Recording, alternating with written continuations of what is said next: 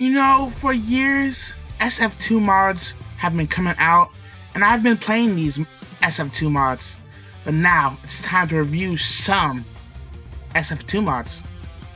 I had the idea for doing this for a while, but I didn't do it because at the time, I felt because of the quality of some mods, I didn't want to come off as mean in my criticisms. But with how high quality the mods are these days, I can mostly focus my criticisms on the moveset and rather than if the mod showed Mario for one frame. So let's start this new review series with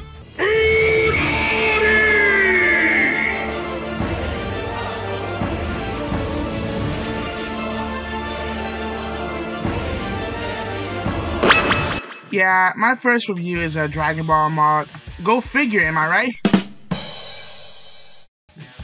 Yeah, I know Dragon Ball mods have been a point of contention in the SSF2 community due to their popularity, but I wanted to start with a mod I really liked.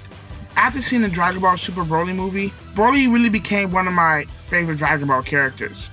Probably because they added green to his color scheme. I like the color green. I don't want to spoil the story for people who haven't seen the movie, but Broly is a Saiyan like Goku and Vegeta with overwhelming natural power and strength. An awesome modder, Luka45, is able to make a mod that captures this. One thing about being in this community for so long is you get to see modders as they rise in skill. I remember this comment on my Super Mario Bros. Z mod pack from him. Where's the red Axem Ranger mod, Luka?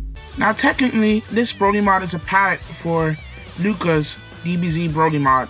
But according to Luka, it has enhanced effects, different sound clips, and a new Final Smash. So technically, I'm reviewing a clone character, but that's not that deep. Wow, this guy is big. In normal view, his full body doesn't fit on the screen.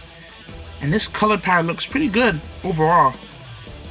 Moving on to the move set, I think Luka found a way to make Broly feel like he could have been made by McLeod Gaming themselves. What I mean by that is, it feels like the moveset uses McLeod Gaming's Goku as a template. Similar to Marth and Ike, they are not clones, but they share moveset DNA. Broly feels like a more aggressive Goku, which is kind of what he is, I guess. Broly doesn't really have any major mechanic, he's a pretty straightforward character. If I have to describe him, He's a heavy zoner. Now, I don't consider myself a pro player when it comes to Smash, so I don't know if that's an accurate assessment.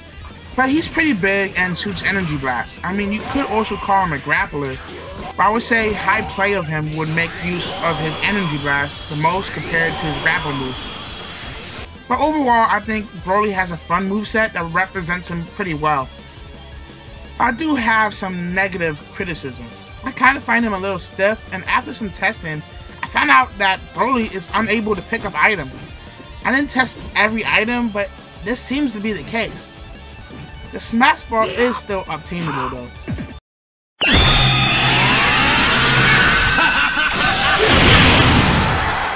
but outside of that, I think Luka did a great job with this mod. I would say it's one of my favorite mods in recent years. There's currently a new DBS Broly mod in the works that seems to be taking its moveset from Fighter Z, which has cool references to the movie. So it'll be interesting to see how that mod will play. Well guys, thanks for watching this episode of SSF2 Mod Reviews. If there are any SSF2 mods you want me to review next, ask me in the comments below. You guys have a nice day, drink water, and God bless.